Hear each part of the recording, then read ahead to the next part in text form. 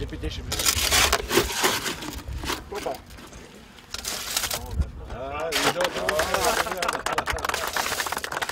Hoće više. Najprej da kažem da je zaštita životne sredine jedan od četiri strateški najvažnijih pravaca opštine Velika Plana. Mi smo to potvrdili kroz našu strategiju o zaštiti životne sredine i kroz naše akcione planove. E, Pre par godina opština Velika Plana se obratila tržištu za izbor operatera koji će u narednih 20 godina e, se baviti prikupljanjem, selekcijom, odvozom i odlaganjem, odnosno deponovanjem komunalnog otpada i ova izgradnja transfer stanice jeste jedan od ugovornih elemenata, ako tako mogu da kažem, i predmeta ugovora. Opština Velika Plana se obavezala da u skladu sa zakonom obezbedi lokaciju, dakle koja je planski predviđena za izgradnju takvog jednog objekta dok je i oslanac naravno na infrastrukturu, dok se operator, odnosno Por Werner Weber, obavezao da izgradi transfer stanicu. Ta transfer stanica će u funkcionalnom smislu značiti dosta, zato što vozila e, koja prikupljaju i odvoze otpad na deponiju u Jagodini će sada e, jačim intenzitetom prikupljati dakle sa ulica iz domaćinstava i od industrijskih zagađivača, ako tako mogu da kažem, prikupljati komunalni otpad, tako da će intenzitet biti e, znatno na višem nivou i samim time situacija na javnim površinama u domaćinstvima će biti mnogo bolja. E, s druge strane, postojaće mogućnost da se na ovoj lokaciji odloži i drugi neopasan otpad, ako tako mogu da kažem. Tiče se nameštaja, tiče se bele tehnike i ostalog otpada koji će moći da se odloži ovde pod određenim uslovima, a naravno moći će i da se poruči ta usluga od strane operatera da dođe i preuzme u domaćinstvu neki otpad koji nije neopasan otpad i koji nije komunalan, koji je već predmet našeg ugovora. Eto, u tom smislu to zaista znači dosta. Opština Velika Plana je bila, ako tako mogu da kažem, i normativno prinuđena da povuče ovaj potez za koji smatramo i da je dobar, dugoročno. E, mi nismo imali deponiju e, u skladu sa zakonom koji reguliše tu oblast, već smo odlagali na jedan neprikladan način već više desetina godina, to je jedno nasleđeno stanje u priobalju same Velike Morave, što složit ćete se sa mnom da to nije najsrećnija odabrana lokacija. Mi smo iskoristili sredstva Ministarstva zaštitu životne sredine pre nekoliko godina da saniramo tu deponiju sa biotrnovima, sa nasipanjem e, zemljom i ta deponija se smatra saniranom, naravno uz još neke popravke koje ćemo sami odraditi i naravno važno je da pored prikupljanja i ovoga, ove transfer stanice koje će podići intenzitet prikupljanja komunalnog otpada, e, smanjit će se e, formiranje, intenzitet formiranja divljih deponija, gde smo već uveli sistem, organizovani sistem prikupljanja komunalnog otpada, tu nema novih divljih deponija, onda ćemo ući sistematski u skladi sa našim akcijnim planom u čišćenje divljih deponija, tako da to vodi što se tiče komunalnog otpada ka potpunom ozdravljenju, ako tako mogu da kažem, naše naše opštine. Inače, republički komunalni inspektor nas je rešenjem nam je zabranio korišćenje tog smetlišta, to u stvari nije bila deponija u smislu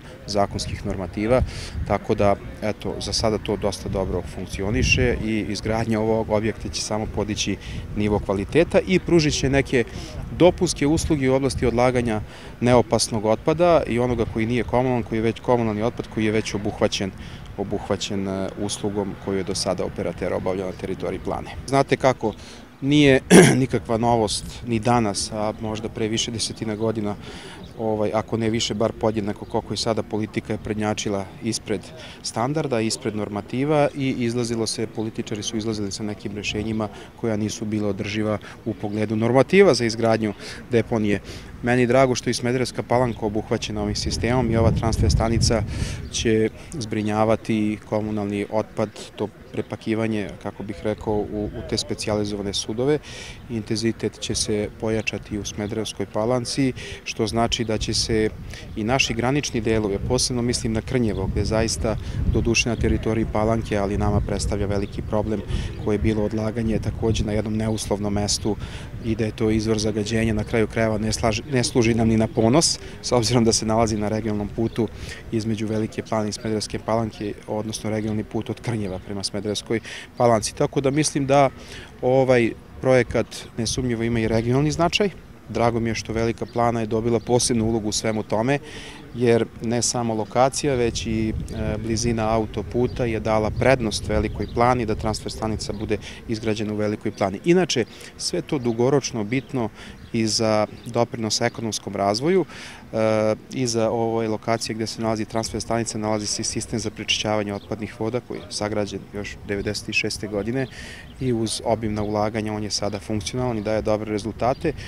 i zbrinjavanje komunalnog otpada, zbrinjavanje otpadnih voda jesu ovaj, glavni, glavne pretpostavke za i razvoj investicija, posebno kad je u pitanju prehrambena industrija, posebno kad je u pitanju klanična industrija i evo u neposrednom susjedstvu iza nas je već i sagrađen objekat za klanicu živine, a levo od nas, evo ko što vidite, već se uveriko rade temelji za izgradnju klanice za papkare, investitori iz Smederevske palanke, tako da, eto, to su prednosti koje je Velika plana iskoristila. Pored dobre lokacije, inače ova industrijska zona je u potpunosti opremljena infrastrukturno, preostalo Ostalo je još da deo bude asfaltiran i to ćemo sada sa razvojem ovih investicija ispuniti. Inače, industrijska zona je opremljena i kišnom, fekalnom kanalizacijom, visokim naponom, 16 MW imamo nove trafostanicu, iza nas je gasna stanica 8000 kubika, telefonske instalacije i naravno blizina, blizina autoputa. Eto, to su sve neke prednosti e, u ovom trenutku u koje se dosta ulagalo, na kojima se radilo, naravno planski osnov, tako da Velika plana će nastaviti da širi ovu industrijsku zonu i da bude partner u buduće. Pa mi smo, da kažem, sa poslom u Velikoj plani sakupljanja i odvoza komunalnog otpada počeli 2010. godine i evo već nekih pet godina kako u kontinuitetu radimo taj posao. Ovo je jedna od faza, kažem, nastavka naše specializacije i usavršavanja u ovom poslu. Dobili smo od strane opštine mogućnost da na ovoj lokaciji izgradimo transfer stanicu koja je za nas vrlo bitna i vrlo značajna iz dva razloga. Prvi je ekonomski, gde ćemo svoje troškove svesti na minimum, obzirom da smeće sa ove regije vozimo na našoj regionalnoj deponiji koja se nalazi u opštini Jagodina.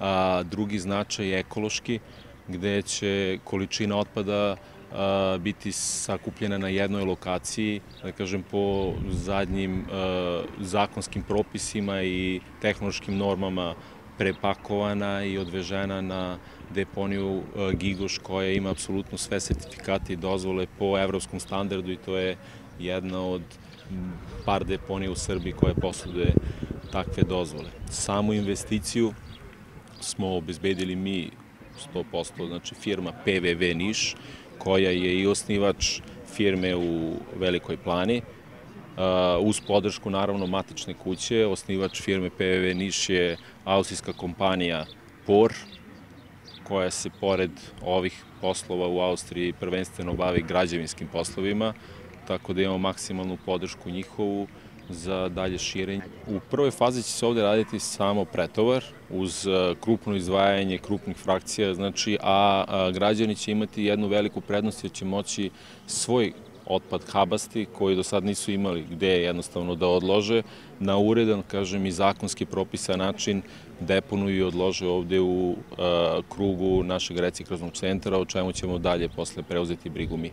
Danas je postavljanje kamena temeljca, kada je planirano da budu završeni radovi i koji je glavni ekološki značaj izgradnje ove hale? Uh, danas Evo, krećemo sa radovima. Rok završetka radova, odnosno planirani završetak radova je početak decembra meseca ove godine, tako da mi očekujemo da već najkasnije sredinom decembra aktiviramo ovu lokaciju.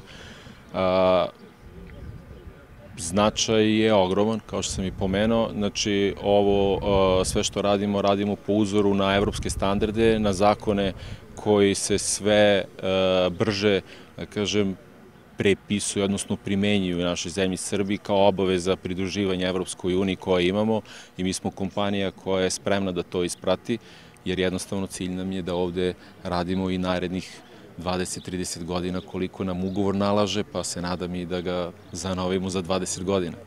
Koji kapacitet prihvata?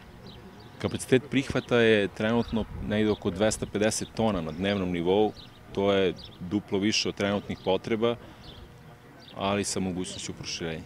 Što se tiče uštede, e, uštede su velike. Mi smo prvo zahvalni lokalnoj samupravi koja nam je stvarno izašla u susret i našla idealnu lokaciju lokaciju u blizini regionalne magistrale, znači e, laka je za internu komunikaciju ovde u, u okviru opštine, e, plus je u blizini isključenja za autoput svega 500 metara, tako da nam to u mnogome olakšava rad, a da kažem s druge strane i ne remeti transport i prevoz kroz sam grad, vodili smo i o tome računa, o toj logistici, a same uštede su kod nas prioritet od samog početka rada ovde, a to sam siguran da građani mogu i da vide, jer smo do sada imali svega dve ili tri sitne korekcije cena od po par procenata, koliki je, da kažem, minimalni rast troškova životnog standarda bio za poslednjih pet godina. Danas smo ovde na postavljanju kamena temeljca u Velikoj plani za izgradnju e, hale. Zašto je to značajno za Smederevsku palanku? Ovo je veoma značajan e, trenutak e, za dalji rad i funkcionisanje poslova iznošenja smeća i deponovanja u Smederevskoj palanci, pošto smo mi deo kompanije PV i u ranijem periodu smo imali taj problem da smo morali voziti smeće 60 km na reciklažni centar u Jagodinu.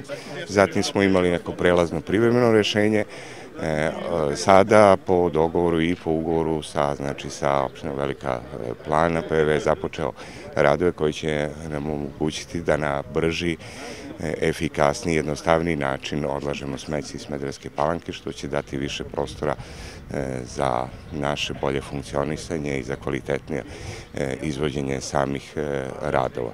Ovo je zaista značajno E, veoma i e, zbog e, same stvari da su investitori spremni znači da na duži vremenski period ulažu u nove investicije, obzirom da PV i sa opštinom Velika Plana i opština Smederska Palanka ima ugovor na 25 godina.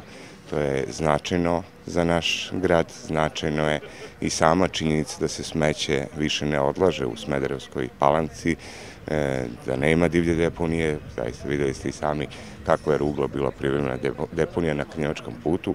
E, nadam se da ćemo u narednom periodu učiniti sve da ne bude i tih manjih privremenih divljih deponija u opštini Smedske palanke i da ćemo na zadovoljstvo e, i građana i opštine i pravnih lica drugih obavljati naše posle.